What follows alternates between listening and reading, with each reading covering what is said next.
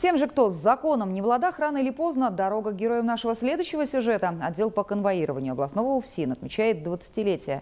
Подробнее Наталья Хмелева.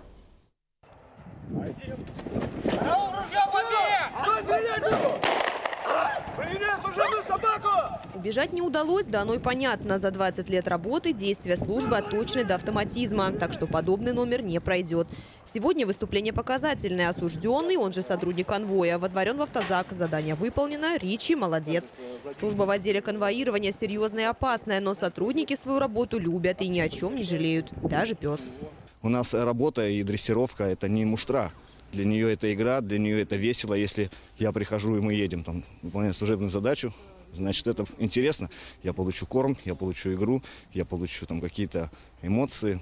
Но эмоции эмоциями, а главное – это ответственность. Ведь за год через отдел проходит более двух с половиной тысяч осужденных. Тут нужна серьезная подготовка, обучение, физическая форма, умение обращаться с оружием. Личный состав новгородского отделения – 72 человека. Этот отдел единственный в области. Осуществлять конвоирование больше некому.